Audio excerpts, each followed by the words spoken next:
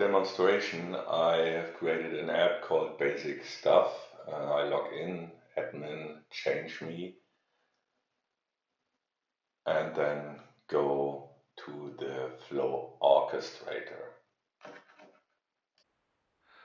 Hit a new flow and call it a mover because we want to move messages from one queue to another.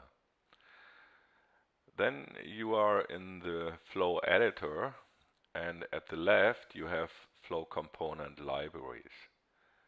The base library is called Stream Interface. That's the interface to the SwiftMQ router or broker where this flows uh, runs.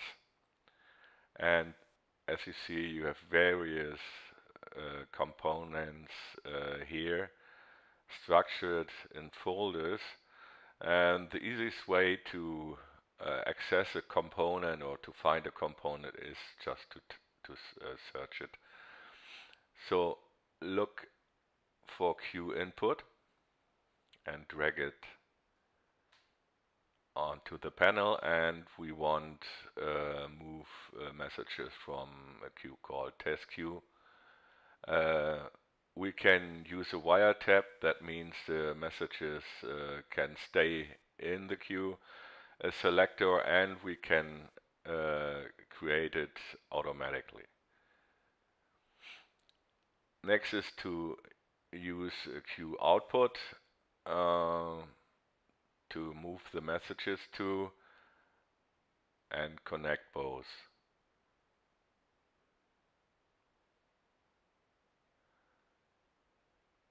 We want to move to test queue2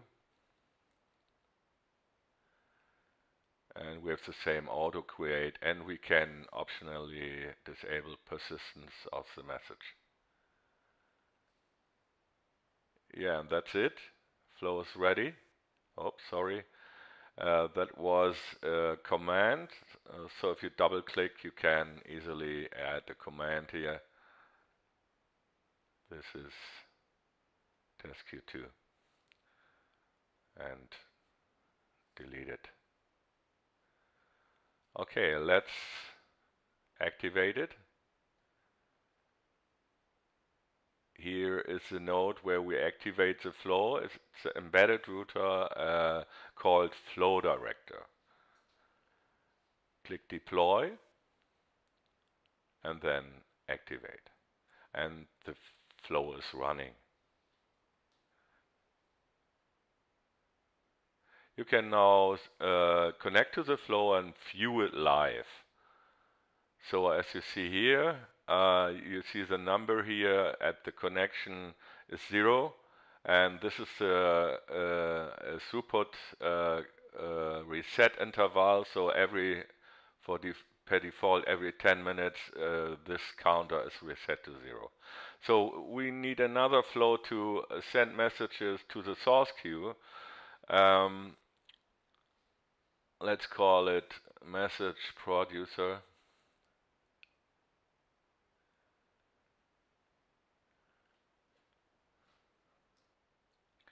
Again in the flow editor now um, look for a queue output um, to send messages to.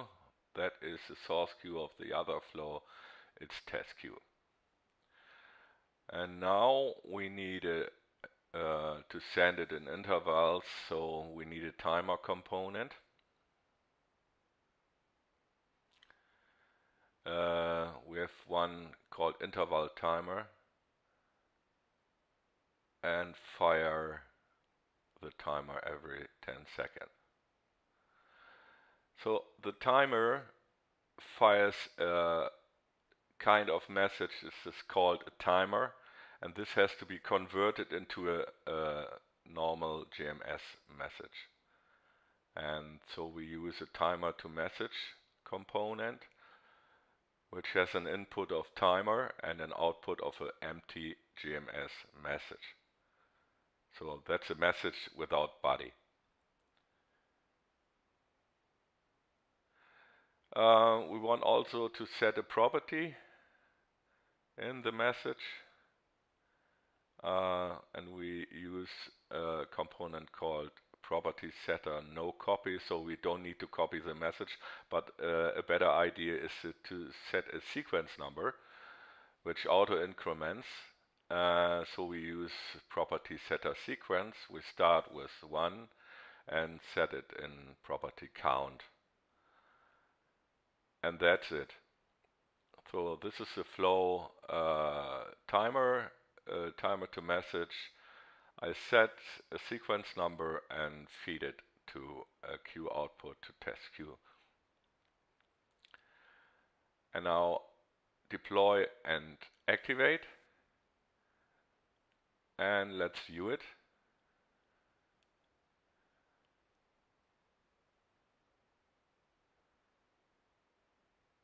Okay, we see one message is sent. And if we click on the connection we can see the messages live. As you see here there's a property count correctly set to 2 and let's look at the other flow that moves the messages.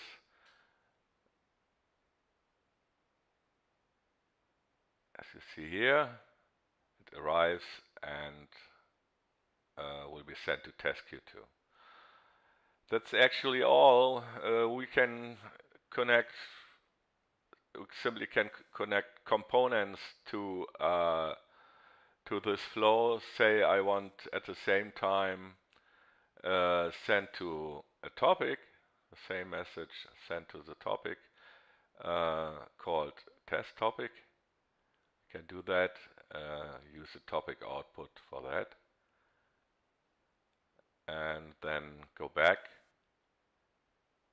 and update. So update is redeploy and activate. So and as we see here, uh, yeah, we see two, and that means uh, one left, one right. Uh, so uh, it's actually better to use another component to see the numbers uh, split for the left and the right component. Uh, that is quite easy. Uh, I use a component called message sequencer which actually creates branches in a flow. So you branch the flow in two parts left part is 2q. right part is to topic.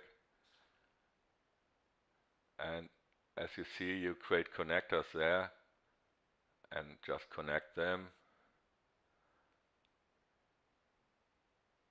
Okay, prettier, uh, so. And then just uh, update. and view it again. And you will see you have left and right the correct numbers at the connections.